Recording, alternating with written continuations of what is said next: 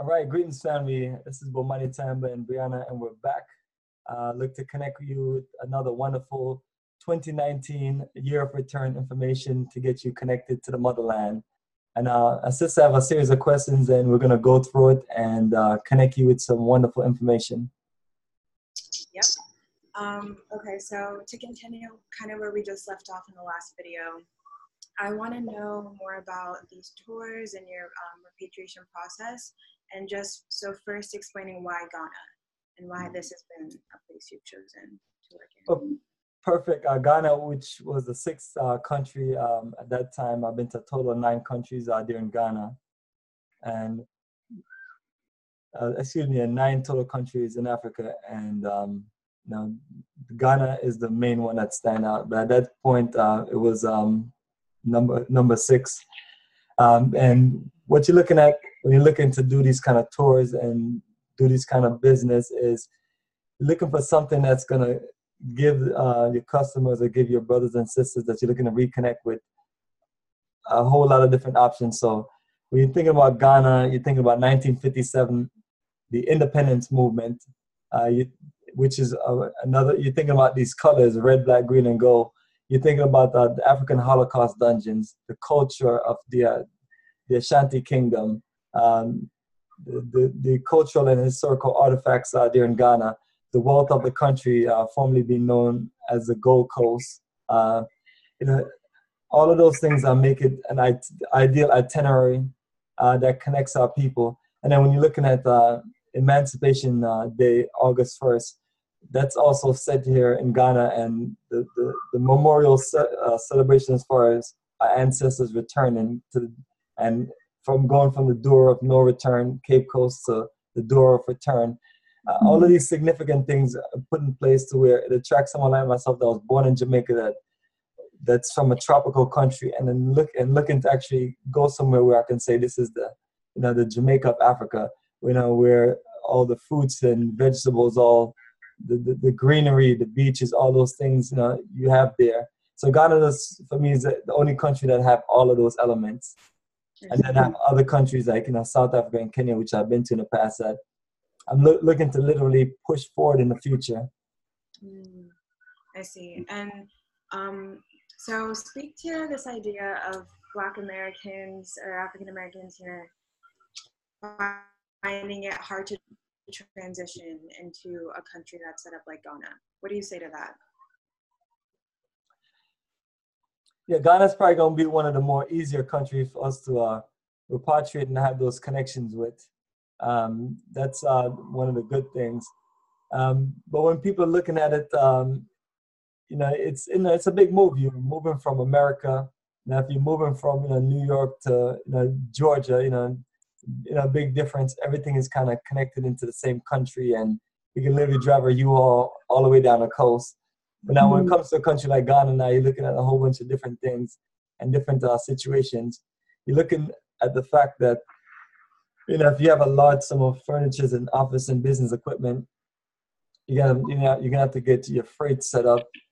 Um, you, then you're looking at um, a situation where you know you have to build your residency and work it to where you know you have to keep checking back in and build a time to where you can eventually get your citizenship. Uh, so all of those things have to be put in place, and it's ideal if it's something that you're working on building. Like we have this uh, community Town we're building, so you know you want to get something in the pipeline. We you're building on it to where the next three to five years, when you're ready to make your move, you have things in place, and then you'd already develop your business to where your business can function in Ghana. Um, uh, and all of that it makes it um, you know makes it a, a difficult move. But the thing of it is, it's not something that you know we have had generations of our people do at a high level or a high percent. It's you know it's roughly a small percentage of people and then most of those people are you know your elders people are retiring or people who have saved enough or have mapped this thing out to make it work. So the goal for people like myself is to connect people our people from the african diaspora with these tours which links them to the clarity of business and investment and also connects them with a community they can invest in and have set up to where it could work for work for them in the future to where you know you know you have a you have a community where you have your your your, your, your water, electricity, your internet, all those things are taken care of in the deal that God set up for you versus, you know, in this individual system that we live in where, you know, the phone company, the water company, all these utility devils are milking you. and I mean, I mean, they're just working you over uh, uh, continuously. So that's the benefit of it if you can fight to get to that level to where you can connect and work with your brothers and sisters to where you can build that for the future in your family. And I, you know, people like myself say it's worth giving up everything for. It was, it was worth, you know, um, giving up the things that most of us just have. You know, you, know, it just comes. I guess it comes to the turf in America. You know, these things that are shiny and nice and in a so-called way of comfort. Know, it's being on like an, a high class, comfortable plantation to where you, know where life can get so good to where you don't think you're safe, but you're in the position where you're working and giving back your efforts and energy back into a system, and the system is using it to continue their development to keep you oppressed and keep control of everything that you know you you you you have around you. So, um, you know.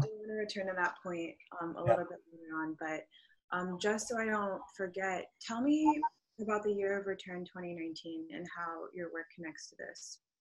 Um, actually, um, not really working next year, but what I've done is I've about over the last years I've had two itinerary, okay. and that itinerary is the year of you know, of return itinerary. I've been doing it, you know, even the first tour from 06. But uh, the special part about itinerary is uh, we have an incredible uh, naming ceremony. We have a special time at One Africa Resort in Elmina, to where we go to uh, the Cape Coast Holocaust dungeons, and we uh, connect to the door of return, and then the door the door of no return, and the door of mm-hmm. return, in a sequence to where you get the full flow of reconnecting to the, the ancestral land. But even before that, we go to a place called uh, Asin Manso, the last bath, and that's where our ancestors took their last bath before they were auctioned off to the dungeons so in the 1957 Independence uh, City Tour we do, it's all connected to bring you into element of your reconnection, and we make it as special as possible. The only difference is it's very private. Uh, so we have, have people that we're gonna feature throughout the entire journey who have lived in America or live in some parts of the African diaspora now. They live there in Ghana, they're doing business uh, and you're there to interact and connect with them, and they're there to share and their special story. Then we have an incredible repatriation and investment conference, which is ideal for you know if you're looking to return. You know, when we talk about your return, you're looking to return, looking to build a future. You need that foundation laid. You need people who are, are lawyers, business people, people who have repatriated, people who have, who have been in and out of different continents and you know they see Ghana and they, they have you know played a part in how things are going. And those are the people and energy we connect you with. So that's why I say it's, it's it was always designed for that operation of the year return.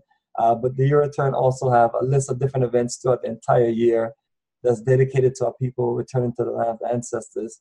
Uh, so um, I tend to just you know make my own program um, uh, when I do tours and not just design an itinerary based on what other people are doing and things that's in the country. Right. Okay, gotcha. Um, and that was my last question. Absolutely. All right, family. Um, and to get more information about uh, Garvey Town, uh, information about the Africa tours, visit, our website, Africa for the Africans.org. And um, you can look at the main menu and you see all these wonderful details, and you can reach out to us. And uh, you can link us on uh, Facebook, uh, facebook.com forward slash Bomani, and youtube.com forward slash Bomani 2007.